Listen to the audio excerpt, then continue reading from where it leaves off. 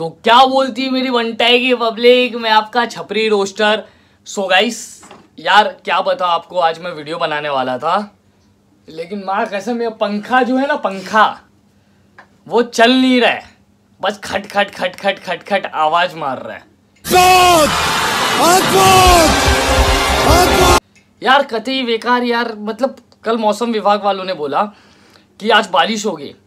लेकिन माँ कसम बारिश का कोई अता पता है ही नहीं और पसीना बह रहा अलग। नेक्स्ट लेवल का पसीना गर्मी। कैसे कैसे लोग रहते हैं यार यहाँ पर? चलो तुमको पागल कुत्ते का गाड़ी उठा के ले जाएगा बता रहे हैं हम। मुंबई की इतनी बुरी हालत है कि गर्मी से लोग परेशान हैं। ऊपर से अभी जो लेटेस्ट मूवी आया ना आदि पुरुष तो यार उसका टीजर लॉन्च होने के बाद मैंने एक वीडियो देखा था।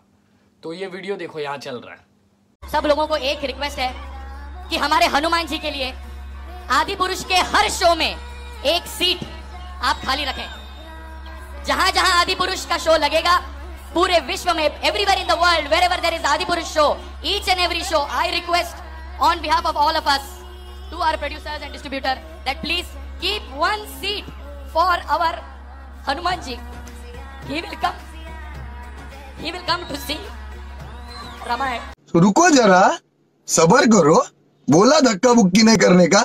आराम से लेने का। सो so, देख रहे हो कि इसका मतलब इंटरव्यू देखने के बाद कोई भी देखने जाएगा ही। तो अपन भी गए देखने समझे? लेकिन इतनी वाहियात पिक्चर बनाई है लोग ने इतनी वाहियात पूरा पैसा बर्बाद। अभी मैं ऐसा क्यों बोल रहा हूँ?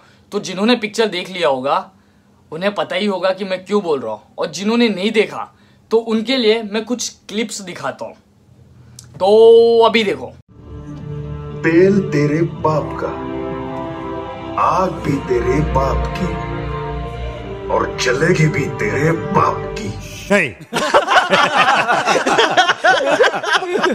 सो गाइस देखा जो मेन कैरेक्टर है हनुमान जी उनका डायलॉग देखा? यार मेरे गली के जो नुक्कड़ के वो छपरी लोग हैं ना लाल पीले वाले बाल वहाँ कसम उनको भी फेल कर दिया। मतलब इतने वाहियात डायलॉग कौन है ये लोग? कहाँ से आते हैं और ऊपर से इन लोग ने इंटरव्यू में बोला कि एक सीट हर थिएटर में खाली छोड़ना ताकि हमारे हनुमान जी आएँगे। बराबर? जहाँ पे भी रामायण चलता है, वहाँ पे हनुमान जी आते हैं। ये लोगों का मानना है, और लिटरली हो भी सकता है, क्योंकि मेरे पास एक क्लिप हाथ लगा है, जो लिटरली मैं आपको शो करता हूँ। तो देखो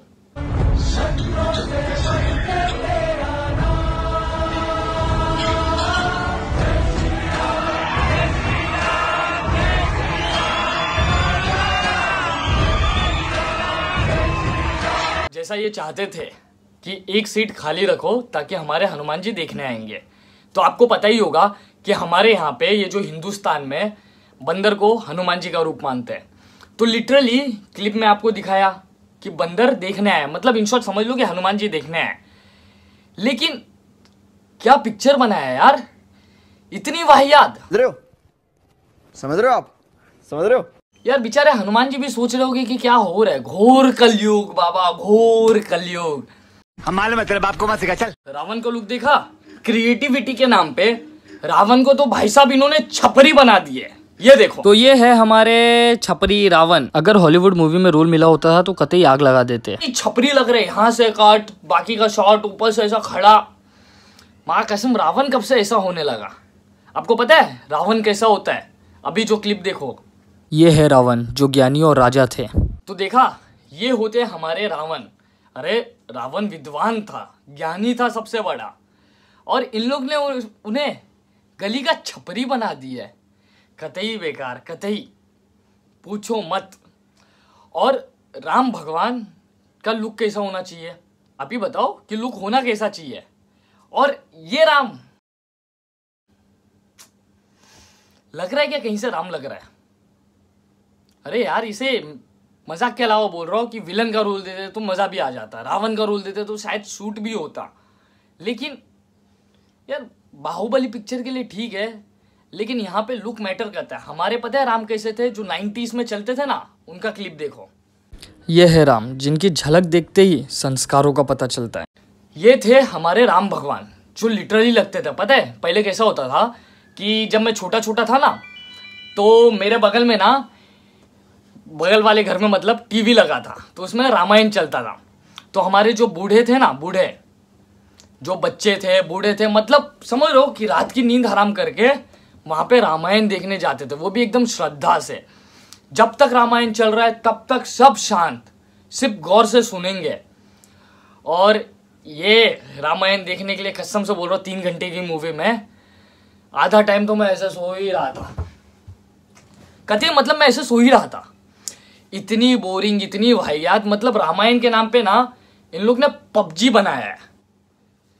और वानर सेना कैसी होनी चाहिए? यार, इनके मूवी में तो कुछ और ही लग रहा है। वानर सेना की जगह, इन लोग ने तो कहते हैं ना, वो टेंपल रन में जो किंग कॉन्ग भागता है ना पीछे पीछे डिट्टो बनता है। लोग वैसे ही की है। तेरी तो आज मैं दौड़ा दौड़ा के लेगा, रुक मेरे को आने दे। मतलब यार तुम अगर कुछ चीज़ दिखा रहे हो कुछ धार्मिक दिखा रहे हो तो लिटरली वो उस तरीके का होना चाहिए। और तुमने क्या बनाया है? कतई बेकार बनाया यार कतई बेकार। समझे? रिव्यू देखोगे? मैं आपको कुछ लोगों का रिव्यू दिखाता हूँ। रामायण की बैंड बजा दी ऐसी लगी। रामायण की भेंट बजा दी भगवान राम के नाम पे छलावा किया है और ऐसे गंदे डायलॉग बोले हैं जिसका खून खोल जाता है। बताया जा रहा है कि हनुमान जी को गलत तरीके से प्रस्तुत किया गया है। हनुमान जी की लैंग्वेज को गलत तरीके से प्रस्तुत किया गया। एक डायलॉग जो बहुत जल्दी से वायरल हो रहा है कि तेरे बाप का तेल तेरे बाप का ये पता नहीं कौन सा डायलॉग हाँ है? ये वही डायलॉग है। तेरे बाप का तेल तेरे बाप का तीर और तेरे बाप की जलेगी ये चलेगी ऐसे डायलॉग दिए गए भगवान राम के भक्त हनुमान जी को ऐसे डायलॉग दिए गए मतलब इनको शर्म तक नहीं आती यहाँ की जो ऑडियंस है वो इतना ज़्यादा गुस्से में है। आप और क्या कहना चाहते हो पब्लिक को? मैं ये कहना चाहता हूँ मैं हिंदू धर्म का आदमी हूँ। और ऐसे पिक्चर बनाने के बाद में शर्म आनी चाहिए ओम राउत को। ओम राउत को शर्म आनी चाहिए बोल रहे हैं। और अभी आप देखना आपके सामने जल्दी पब्लिक आने वाली है आपको रिव्यू दिखाने तो गाइस देखा? ऑडियंस कितनी भड़की हुई है। चलो ठीक है ऑडियंस का हटा देते हैं सबकी अपनी अपनी राय है। लेकिन मूवी में कौन कौन से मेन कैरेक्टर है? राम लक्ष्मण हनुमान जी सीता माता विभीषण रावण और मेघनाथ। अब हम बात करते हैं मेघनाथ की। तो ये देखो मेघनाथ का झलक। गाइस मेघनाथ देखा? अरे वो मेघनाथ कम टैटू की दुकान ज़्यादा लग रहा था।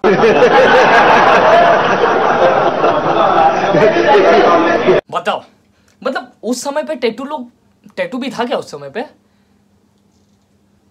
ये बड़ा सोचने वाली बात है कि उस समय पे टैटू, और ऊपर से नीचे तक पूरा टैटू ही बना है। भाई साहब, हमारे जो मेघनाथ थे ना, जो हम 90s से देखते आ रहे हैं, वो थे कुछ इस तरीके के। कम से कम ये लग तो रहा है एक राजा का बेटा है। और इन लोग ने उसे तो टैटू की दुकान बना दी है। बताओ। और मूवी के डायलॉग डायलॉग इतने वाहियात वाहियात, इतने वाहियात वाहियात की पूछो मत। और जो भाई साहब ने वीएफएक्स पे काम किया है, इतना सारा उछल उछल के पैसा वी पे दिया है तो लिटरली अगर ये क्लासिक 90s की तरह बनाते थे ना तो भी बहुत मज़ा आ जाता। ये तुम रावण को चमगादड़ पे बैठा रहे हो। चमगादड़ क्या? क्या था वो? पता नहीं कौन सा ड्रैगन पे बिठाया। अरे उरन तस्करी होती थी उस समय पे। उरन खटोला। समझ रहे हो? और ये कहा ड्रैगन मतलब चमगादड़ से भी वाहियात लग रहा है। और एक चीज़ और मेन हाँ कि रावण की जो लंका थी सोने की। भाई साहब पूरी मूवी में तीन घंटे की मुझे सोना कहीं नहीं दिखा। बस मेरा सोना आ रहा था नींद। मस्त दो पैर ऊपर करके मतलब समझ रहे हो? सीट एकदम मस्त दिया था कंफर्टेबल सोफा वाला। तो मस्त दो पैर ऐसे टांग ऊपर करके, मैं सो ही रहा था पूरी मूवी में। मतलब सोने की लंका की जगह, तुमने कोयले की लंका बना दी है। सोना पता है कैसा होता है? अगर तुम्हें रामायण ही बनाना था तो यार, तुम समझ रहा हूँ मैं, तुम्हारा ज्ञान इतना है कि तुम रामायण पढ़ नहीं सकते तो कम से कम वो मूवी को देख के सीरियल को देख के जो 90s में चलती थी कुछ आइडिया तो ले लेते हैं। मतलब इतना वाहियात और हमारे हनुमान जी की बात करें तो भाई साहब हनुमान जी का लुक देखा? हनुमान जी कम और कुछ और ज़्यादा लग रहा है। अभी मैं बोलूँगा नहीं ऑडियंस भड़क जाएगी। और भाई साहब, हनुमान जी के कौन से फ़ोटो में तुमने सिर्फ़ मुझे नहीं देखा और दाढ़ी है? बताओ भाई। ऐसा कोई आपने अब तक हनुमान जी को पूजा है? किसी भी फ़ोटो में, किसी चीज़ में, आपने देखा है कि हनुमान जी की मूछे नहीं और दाढ़ी है? हनुमान जी कम कुछ और ज़्यादा बना लिया। अब मैं नाम नहीं लूँगा ऑडियंस भड़क जाएगी ऑडियंस हमारी समझदार है ऑडियंस हमें खुद समझ जाएगी कि हम क्या कहना चाहते हैं। तो मैं नहीं लूँगा नाम, ठीक है? लेकिन फिर भी, ये मतलब देख रहे हो, ये बॉलीवुड की मूवी वाहियात तो थी। मतलब लिटरली लॉकडाउन के दो साल पहले से लॉकडाउन दो साल, चार दो साल ये छः साल से मैंने कोई बॉलीवुड की मूवी नहीं देखी। सोचा मतलब टीजर के बाद इतना अच्छा इंटरव्यू दिया इन लोग ने तो सोचा जाके देख लेते कुछ ना कुछ होगा। ज्ञान की बात है, पर यार कतई बोलो ना, कतई बेकार मूवी बनाए। मतलब धर्म के साथ खेलना हो गया एक तरीके से।